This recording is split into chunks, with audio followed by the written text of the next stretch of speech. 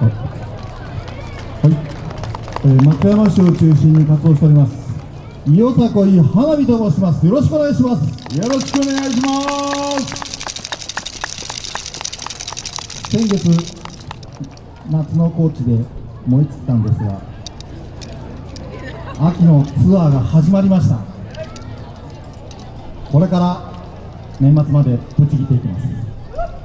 踊り子準備いいか構えて。よさこい花火。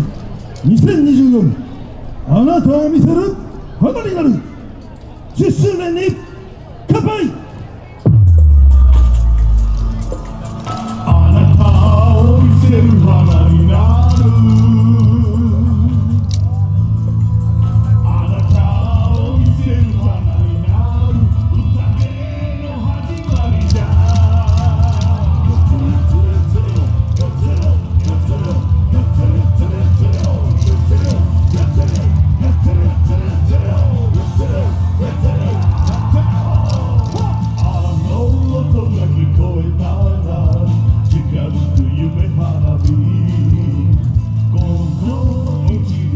I